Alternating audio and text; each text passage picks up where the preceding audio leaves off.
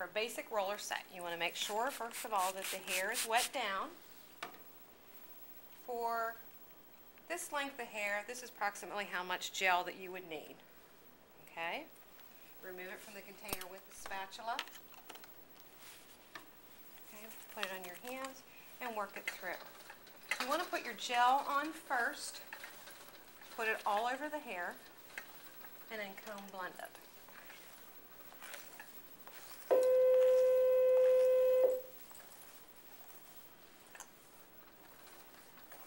Now, for the basic roller set, we're going to do it in brick formation. We're going to start and take the rollers straight back. Depending on the hair length and how much the desired curl is would determine what size of rollers that I would use. Our rollers come in several different sizes. Okay? You want to make sure however many times that the hair can travel around the roller will depend on how much curl that you have. You want to make sure you go around at least one and a half times to give some type of an arc to the hair.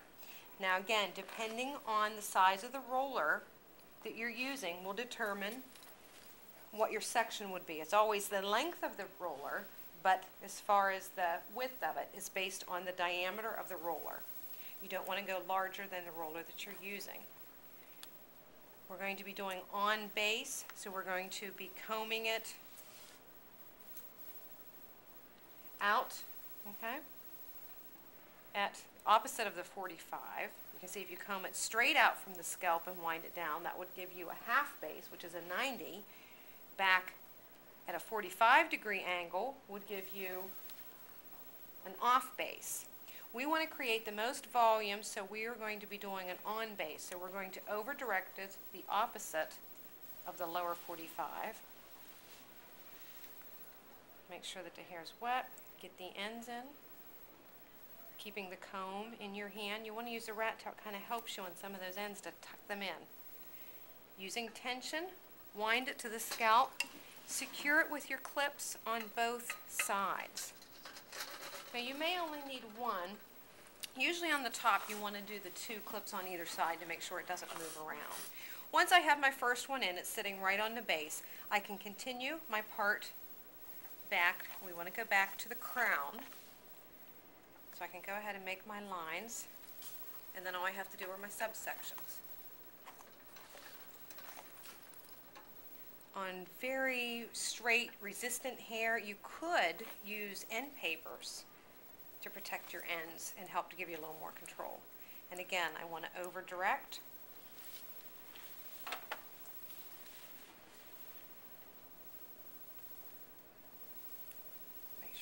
hands on, make sure it's combed smooth, wind it to the scalp. They should just be touching. Make sure that your clips are on the base. You don't want to clip them any other part or it'll leave an indent in the hair.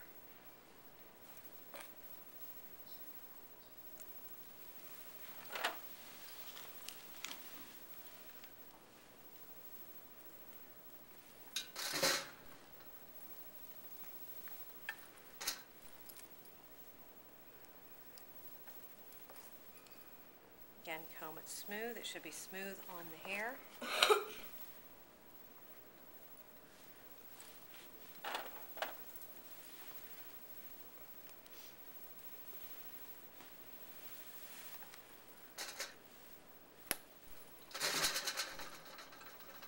This is the most common pattern is straight back off. The sides will go straight down, then the back will go straight down. If your client would like to have a bang, you could take your first roller forward. You could do it off to the side. Or whatever their, the way that to wear their hair, however you want the hair to be directed.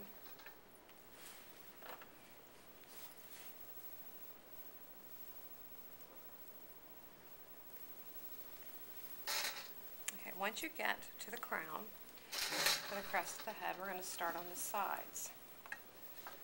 Now, this is where we want the brick formation. I think it's easier to work around the head until you're used to doing this. Again, you want to comb it smooth. Your section cannot be any wider than the rod, or I'm sorry, the roller that you're using. The Same length. Remember to comb this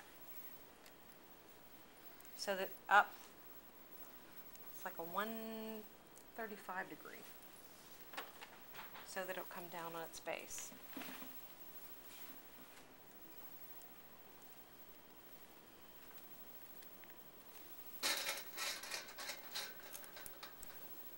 Again, secure it, make sure that the clip is on the base.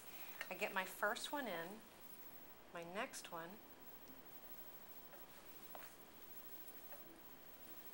beside it, again combing it up.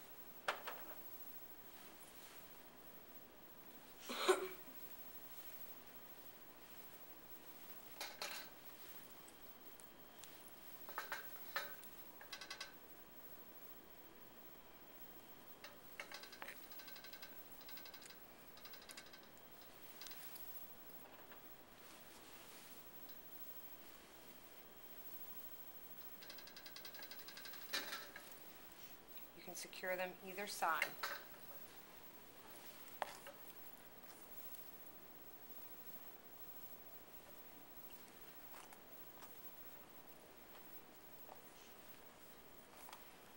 I'll put it in this way. I can show you something here.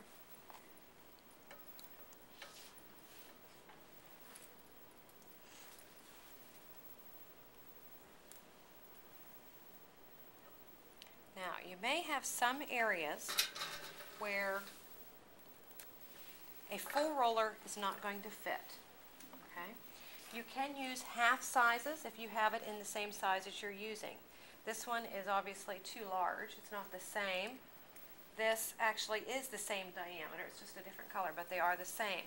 I could use this half roller, or I can put a stand-up pin curl in its place where a roller would not fit.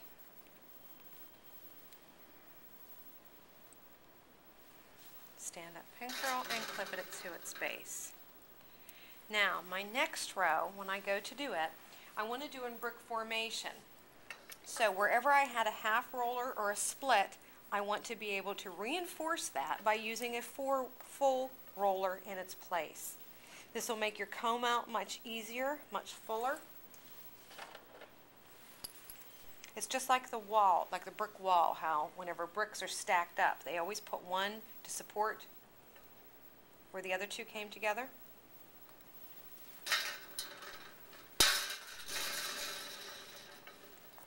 And again here, I can put a half roller, or I could actually put two stand up. I want them all again on base, so I need to make sure that I wrap that correctly.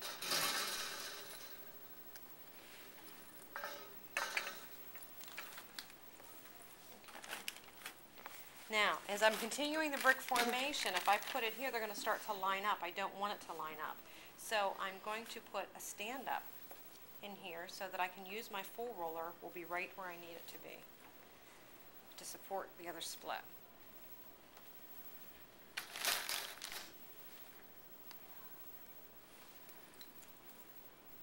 Again, you want the full roller right underneath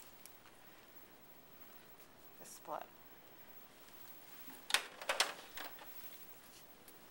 You continue this the whole way down. Now, if the hair would happen to get shorter as you go, you would drop down in size of rollers.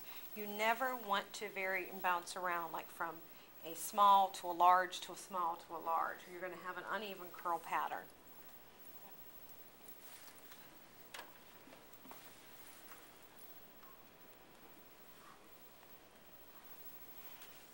Continue working around the head until you have it all in and it's all in brick formation.